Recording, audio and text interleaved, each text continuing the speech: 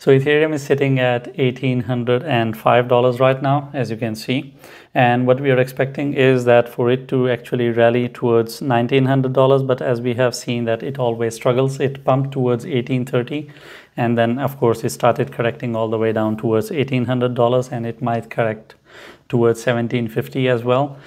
$1,900 is the overall stretch we have for Ethereum and what we are expecting from Ethereum is that uh, it will not break above $1,900 uh, anytime soon. We have seen it pump towards 1864 and that was the max uh, if I recall correctly and it has not been able to touch $1,900. Once it touches and breaks $1,900 we can see whether it can pump further or not but that is yet to be achieved. So overall, this is kind of the trading position what we see for Ethereum. And of course, its support is all the way down towards 1650. So I don't expect Ethereum to go all the way down towards 1650 and its corrections are generally towards 1750 instead of 1650. And that is where it drops down to and then it corrects and then it starts pumping again towards $1,900. So Ethereum is kind of range bound in this zone.